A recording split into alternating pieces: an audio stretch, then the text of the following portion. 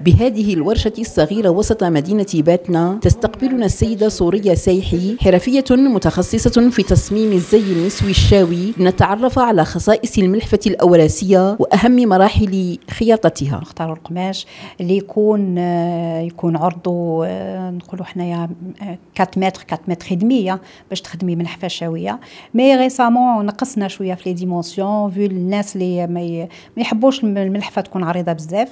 هو اختيار القماش اختيار اللي نقولوا حنايا إسفيفين هذوك نشروا les سفيفين هذوك ولا نخدموها ب d'autres galons ولا كيما هذيك l'orange اللي شفتيها قبيلات هذيك خدمناها بالكروشي بالنسبة للكمام ثاني خيروا la couleur نخيروا la couleur نتاع ال tissu اللي يجي assorti مع ال مع le foulard تعتمد الملحفه الاوراسيه العصرية على التنويع في الألوان وطرز الرموز الأمازيغية. وما نروحوش بعيد يعني على على الملحفة الأولى يعني كيف كيف كيما الملحفة الأولى.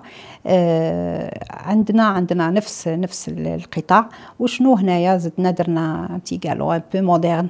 مع نفس الألوان نفس الألوان اللي اللي تمثل الملحفه الشاويه لكن هنايا درناها باللون الوردي. بالرغم من بعض التغييرات التي طرأت عليها غير أنها تحافظ على خصائصها الأساسية. إنه اصبحت موضة هذا الملحفه يلبسوها وطوروا فيها وعصرنوها شوي لكن الملحفة الحقيقية اللباس الحقيقي للملحفة يبقى دائما هو المميز. نتمنى حتى الملحفة الشاويه يكونوا عندها ناسها اللي تقدر تطورها وتقدر تخدم عليها ولما لا يديروا عروض أزياء يعرفوا بها ويعرفوا باللي كاينة ملحفه معصرنه ولكن بطريقة تحافظ على التقليد تاعها وتحافظ على المكانة تاعها في الأوراس. تعتبر الملحفة الشاوية من أقدم الأزياء في الجزائر ومنطقة شمال إفريقيا حيث يعود تاريخها حسب الباحثين إلى فترة ما قبل الميلاد.